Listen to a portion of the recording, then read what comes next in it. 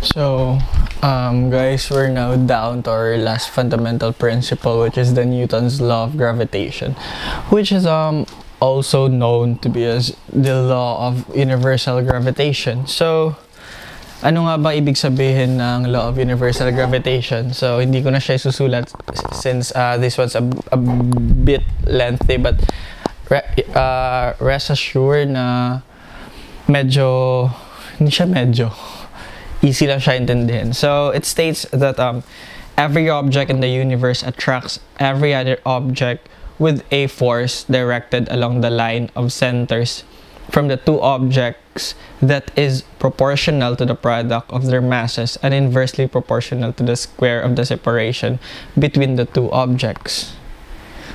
Gets nyo? I mean, personally, nagigets ko siya uh, I mean, clearly nag nagets ko siya, pero I don't know sa inyo. Pero like, nagigets niyo talaga to, I know. I, I repeat ko ah. so, every object in the universe attracts every other object with a force directed along the line of centers for the two objects that is proportional to the product of their masses and inversely proportional to the square of the separation between the two objects. Well, the the later part is um, easy mas easy siyang intindihan kung may formula na tayo which I'll give uh, in a minute or two. But the first in the first ano the first part I mean it's so clear. Like uh, every object in the universe attracts every other object with a force directed along the line of the centers of the two objects. So like a great example of this one is like kung paano nag-rotate yung mga planets around the sun and kung paano nag-rotate uh, rotate? Kung paano nag-orbit yung mga planets around the sun or like kung paano nag-orbit yung moon natin sa planet natin which is, which is um, planet earth. So like they um attract every object. Parang like na-attract ng gravitational pull ng Earth yung moon parang ganun. So so like yung as what I have said earlier na ibibigay ko yung formula so that the the later part of the definition of this law um, will be clearer sa inyo. So like the the gravitational force is equal to um, the G times mass 1 mass 2 over r squared. So, where g is the gravitational force, ito yung masses natin. Is uh, this is one is the, the the mass of the first object and the mass of the second object and r is um, the distance. So g is the gravitational constant and g is equal to 6.67 times 10 um, raised to negative 11 Newton meter squared per kilogram squared. So, this um, this number is constant. Ipa-plug in nyo na lang itong G na to para makuha nyo yung force. So, like, yung R naman, makukuha siya from like, ito yung object A natin. Tapos, ito yung distance niya from object B. So, uh, parang ganun na nga. So let's say for instance, um, 1 million kilometers, 1 million kilometers yung distance. I, I really don't know kung, nakalimutan ko kung gano'n nga ba ka layo yung moon natin sa atin. So like, let's say for instance, let's, let's, let us assume na 1 million kilometer yung kalayo niya. Hindi naman, hindi naman umabot ng 1 million actually. Or, basta nakalimutan ko na. So, yan yung R natin. So, i-square natin yung R left yung gamit ko. Kaya medyo nahihirapan ako. So, basically ganyan. And these two objects has different masses. So, mass A and mass B. So, now, meron tayong isang example. Ay, nako. Wait. Sulat natin siya ulit, pero mas maliit so that um, we can have uh, a bigger space para sa solution natin. So, G is equal to M uh, mass of object 1 times mass object over r squared where g is equal to 6.67 times uh, sorry times 10 raised to negative 11 newton meter ano nga ba yung unit? Newton meter squared per kilogram squared. Okay, there you have it, ladies and gentlemen. So, let's say for instance, uh, may dalawang tao.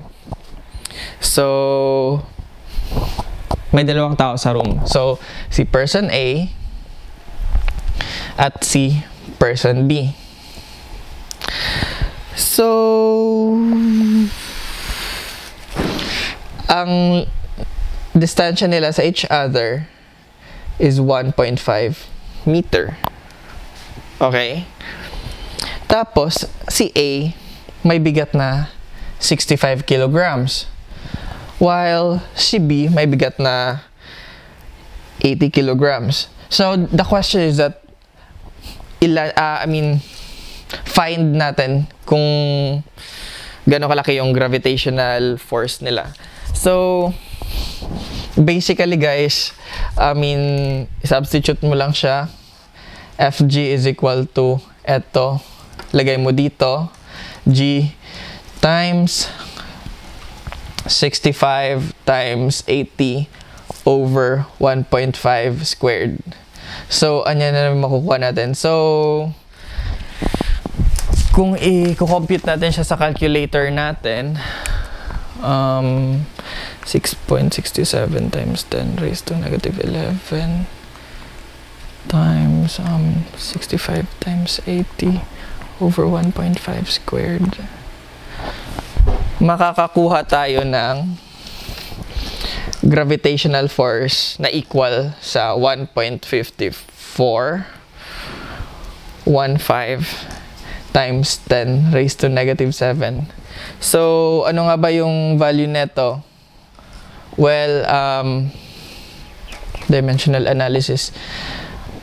Newton meter squared per kilogram squared. Tapos like, ita times natin siya sa kilogram kilogram. So, kilogram squared over 1.5 meter squared. So, makakancel yung kilogram squared tsaka meter squared. We're left with Newton. So, and we all know naman din na yung force, unit niya is Newton. So, it's uh, the gravitational force sa kanila is at 1.54, 15 times 10 raised to negative 7 newtons. So, basically, ganyan lang yung concept ng um, Newton's law of gravitation, um, which is also known as um, the law of universal gravitation. So, I hope naintindihan ng maayos to guys. And also nga pala, kapag, I know alam niyo na to, pero like, reminder lang, na kapag hindi to kilograms, let's say for instance, 65 pounds, 80 tons, parang ganun. So, convert muna natin siya from pounds to kilograms and from tons to kilograms. So, that same yung, same yung unit natin and para tama yung sagot natin. Dimensional analysis. Alam na natin to, di ba? So, thank you. And next pala natin na, sa, na topic ay like yung statics of particles na like nandun na yung addition of planar forces, vectors, addition of vectors through, uh, I mean, addition of vectors graphically and addition of vectors, um, what do you call this? Analytically. Analytically. you know So, yeah. Thank you so much for watching.